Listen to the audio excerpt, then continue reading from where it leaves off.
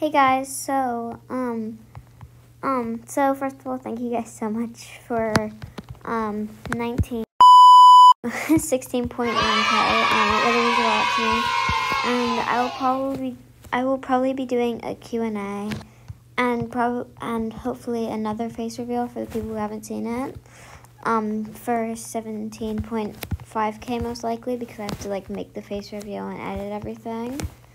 But yeah, so um, comment down some questions, and then I will hopefully post it like either by the time I'm at like 17k or like 17.5k, and then I've convinced my parents let, to let me do another face reveal. Um, so yeah, comment some questions below, and yeah, I'll see you guys later. Bye.